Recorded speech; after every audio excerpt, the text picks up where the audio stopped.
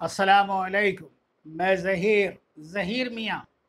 अपने YouTube channel Zaheer रूहानी फ़ायदे में अपने सभी व्यूवर्स का इस्तकबाल करता हूँ।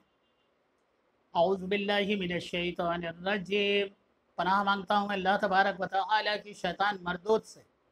बिस्मिल्लाहिर्रहमानिर्रहीम अल्लाह के नाम से शुरू जो नहायत मेहरबान, रहम फरमाने वाला है। आज की ज़िंदगी बड़े ही अजीब व गरीब मनाजिर इंसान को दिखाती है। और इन तमाम चीज़ों से बचने का एक ही रास्ता है कि मोमिन मोमिनाना ज़िंदगी अख्तियार करे। ज़िंदगी में पाँच चीज़ें ऐसी हैं जो आपके सामने रोज़मर्रा आती हैं। आप उसे देखते हैं उससे दो चार होते हैं, मगर फिर भी आप तवज्जो नहीं करते। वो चीज़ें क्या हैं आज मैं आपको बता रहा हूँ। नंबर एक माँ के सिवा कोई वफादार नहीं होता। माँ के सिवा कोई वफादार नहीं होता।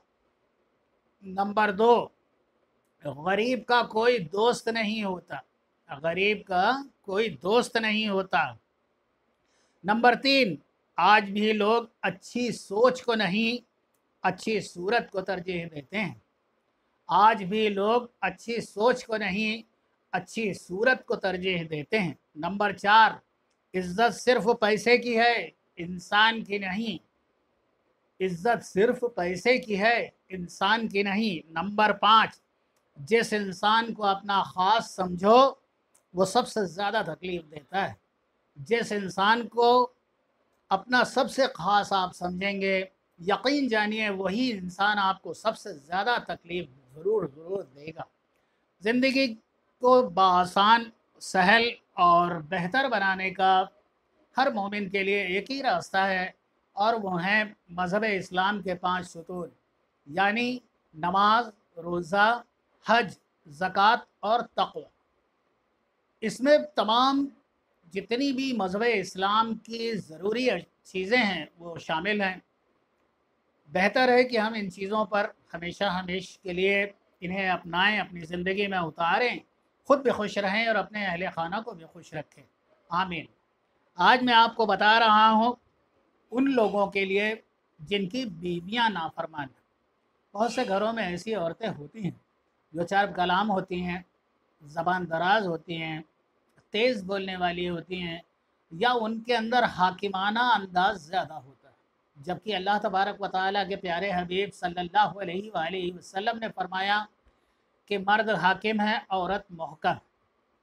ये बिल्कुल सामने नुमाया और सबको जानी बूझी चीज़ है कि मर्द हाकिम है, औरत महकम है। मर्द को अल्लाह तबारक वाली ने पैदा किया है कि वह माशियत के लिए घर से बाहर निकले, अपने बच्चों के लिए, अपने अहल खाना के लिए जायज़ रोज़ी कमाए और घर लाए। और अल्लाह तबारक वाली ने औरत को घर की जिम्मेदारियाँ सौंपी हैं और घर के तमाम चीज़ों का ज़िम्मेदार बनाया है। अल्हम्दुलिल्लाह।